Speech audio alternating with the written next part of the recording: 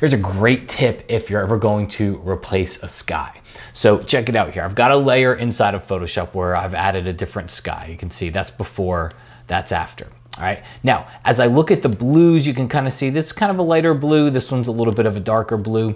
You can reduce the opacity of that layer and that'll help blend it in a little bit. But another great tip for you is double click on the layer.